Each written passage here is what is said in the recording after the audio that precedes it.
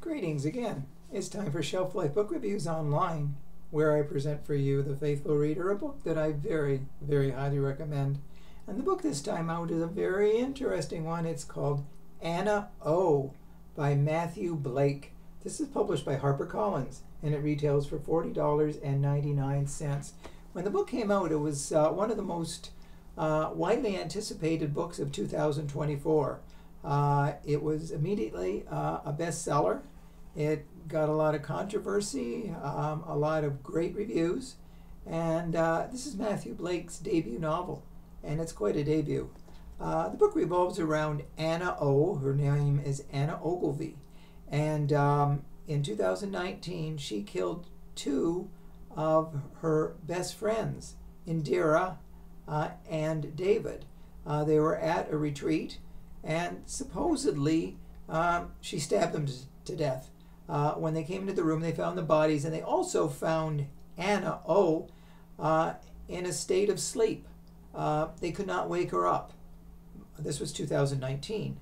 And four years later, she is in that same um, coma like sleep state. And uh, it has been referred to by uh, Dr. Benedict Prince, uh, who, who is a forensic psychologist as resignation syndrome, where when something traumatic happens, the person who, who experienced a traumatic uh, event uh, just uh, resigned pretty well to their fate and she stayed asleep. Now she's in a sleep clinic called the Abbey Clinic, and uh, Dr. Virginia Bloom, uh, she's the one who chose um, Dr. Benedict Prince, uh, who goes by Ben, and uh, he's the one who studied her. And uh, he's trying to figure out why uh, she is still asleep. Uh, he does uh, a lot of different things, like he plays music, he talks to her, he um, you know gently touches her face, trying to get any sort of response. And a few times he thinks he notices a very slight flicker of her eyelid or a twitch of her finger, and he thinks that eventually she will awaken. Now, others want her to awaken too, especially the authorities, because uh, apparently she was the killer of two people. They found um, the knife in her possession, her fingerprints were on it, there was blood on her clothing, so putting two and two together, everybody thinks she was the killer. Now, the question is as Ben tries to figure out, was she the killer? Is she being framed? Now, also in the book um, are um, entries from Anna's sort of journal where she talks about uh, sleep issues. That this is not the first time she has had them in the past, and we she we start to wonder: uh, is she responsible for this, or is it is she really? Well, she's not faking it because they've done all sort of tests.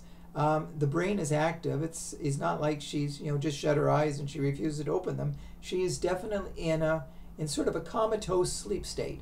So all through the book, and it, the uh, the book's a long one. It's about 430 pages or so.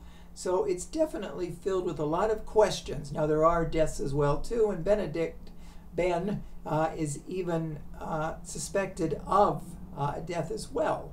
So there's a lot going on in this book. It's definitely uh, a mystery, and no wonder people uh, considered it one of the best books of 2024 because it definitely has a lot of issues, questions.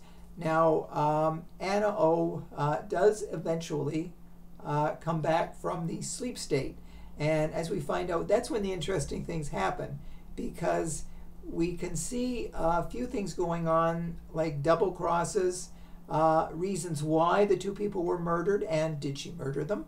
So it's definitely one puzzle after another. So uh, the author, Matthew Blake, has done a terrific job in his debut of creating a book that is suspenseful to the max and a book that will keep you guessing through every single page. So this is the very highly recommended book. If you do purchase it, please let me know if you do agree with my review. So thank you for watching this video review.